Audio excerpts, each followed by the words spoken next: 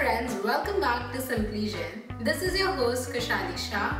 Today we are going to make a fun appetizer that is avocado toast. So let's start making it. Ingredients required for avocado toast are bread, cheese, coriander leaves, corn, tomatoes, avocado, pepper, olive oil, salt, lime juice and jalapenos. Take a long bread, cut it diagonally into slices. Then we'll apply some olive oil. We are doing this so that the base remains crispy. Keep it in the oven for 5 minutes on 160 degrees.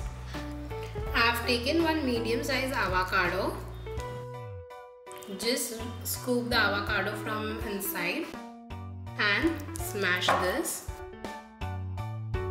avocado turns black really very fast.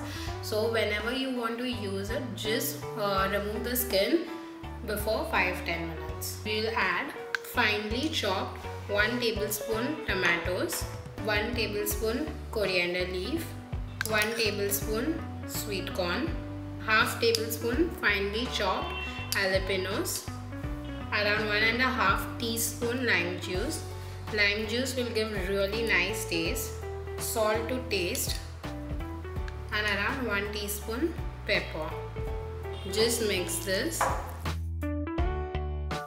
So the lime juice depends on y'all how tangy y'all want.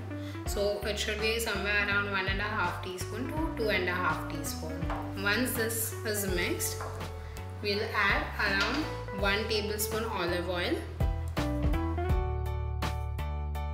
and few pieces of cheese. Our filling is ready. I have roasted this. Now we are just going to put the filling on it.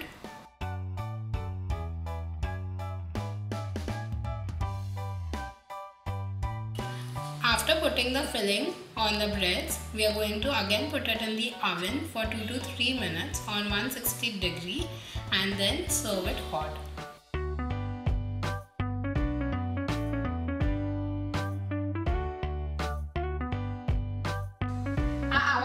Toast is ready. I hope you'll do try it at home. If yes, comment below. And don't forget to subscribe to Simply Jain for a new recipe every Tuesday.